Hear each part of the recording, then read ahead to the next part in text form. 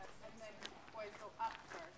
On the way down, And you know why? girls on left, on the way up, boys on the right. You know why she's totally right? Because the boys are. Yeah. So up and down the stairs. She's the help, and then you turn to like help yeah. the stairs. I don't really need you know, it's something close. Oh, it is. Yeah. So then they'll follow. Yeah, just go first. Other guests.